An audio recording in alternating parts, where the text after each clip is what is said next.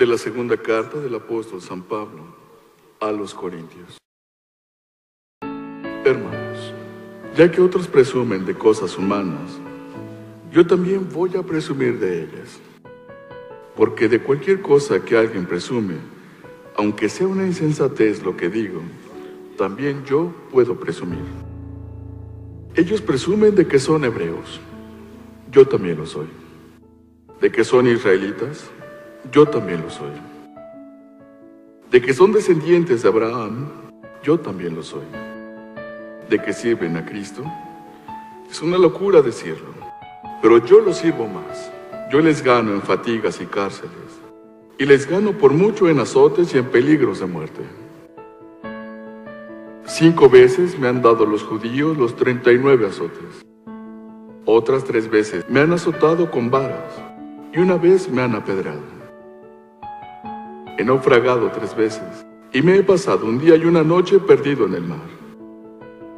He viajado sin descanso y me he visto en peligros en los ríos y entre ladrones.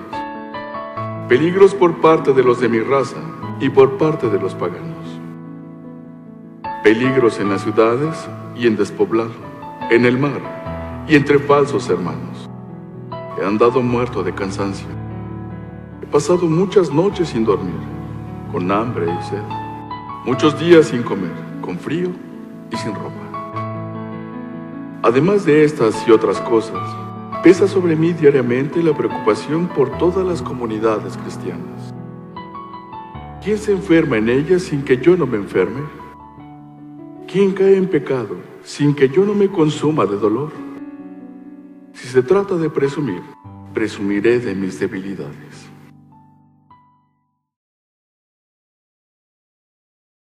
El Señor libra a los justos de sus angustias.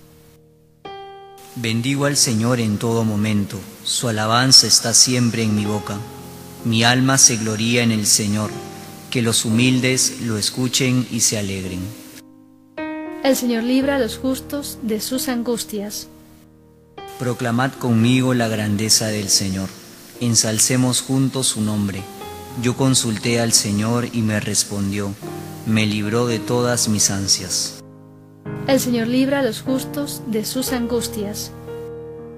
Contempladlo y quedaréis radiantes, vuestro rostro no se avergonzará. Si el afligido invoca al Señor, Él lo escucha y lo salva de sus angustias. El Señor libra a los justos de sus angustias. Evangelio según San Mateo. En aquel tiempo Jesús dijo a sus discípulos, no os hagáis tesoros en la tierra, donde la polilla y el orín corrompen, y donde ladrones minan y hurtan, sino haceos tesoros en el cielo, donde ni la polilla ni el orín corrompen, y donde ladrones no minan ni hurtan. Porque donde está vuestro tesoro, allí estará también vuestro corazón. La lámpara del cuerpo es el ojo. Por tanto, si tu ojo es sencillo, todo tu cuerpo estará iluminado. Pero si tu ojo es malo, todo tu cuerpo estará en tinieblas. Y si la luz que hay en ti son tinieblas, cuán grande será la oscuridad.